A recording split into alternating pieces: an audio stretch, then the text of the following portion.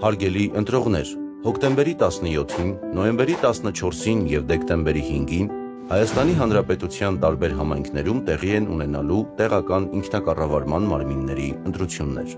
Ընտրական օրենսգրքի փոփոխությունների համաձայն ընտրողների ցուցակում ընդգրկվում են միայն այն ընտրողները, ովքեր քվեարկության օրվան նախորդող 6 ամսվա ընթացքում ունեցել են անձը հաստատող վավեր փաստաթուղթ։ Հետևաբար, եթե ձեր անձը հաստատող փաստաթղթի վավերականության ժամկետը 6 ամիս առաջ լրացած է եղել, ապա ձեր տվյալները չեն ընդգրկվի ընտրողների ցուցակում։ Քվեարկության օրն այցելելով տեղամասային կենտրոն եւ ողջելով, որ ձեր տվյալները բացակայում են ընտրողների ցուցակից, պետք է այցելեք անձնագրային բաժին եւ ստանաք տեղեկանք լրացուցիչ ցուցակով ընտրելու մասին, որը կտա հնարավորություն մասնակցելու քվեարկությանը։ Կենտրոնական ընտրական հանձնաժողովը հորդորում է բոլոր ընտրողներին։